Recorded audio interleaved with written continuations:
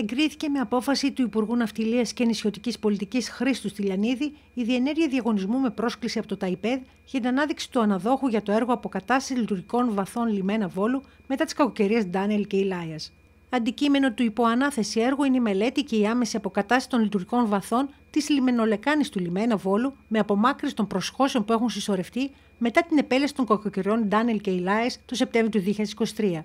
Πρόκειται για ένα έργο ζωτικής σημασίας για την τοπική κοινωνία του Βόλου που δοκιμάστηκε από τα ακραία καιρικά φαινόμενα τον περασμένο χειμώνα και ο προπολογισμός του αγγίζει τα 9,6 εκατομμύρια ευρώ. Ανακοινώθηκε από το Υπουργείο ότι ο διαγωνισμός για την εκβάθηση του λιμένος ξεκίνησε. Έχουν κληθεί εταιρείες να δώσουν προσφορές και οι προσφορές θα δοθούν την 1η Νοεμβρίου. Η μονάδα ορίμας έργους του PPF έχει κάνει όλες τις διαδικασίες.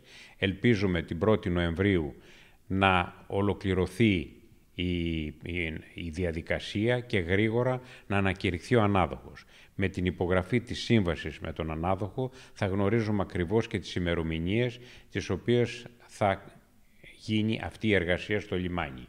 Πρώτα θα ξεκινήσουμε από την Κρουαζιέρα, εκεί που πραγματικά υποφέρουμε γιατί δεν μπορούν να έρθουν τα μεγάλα πλοία.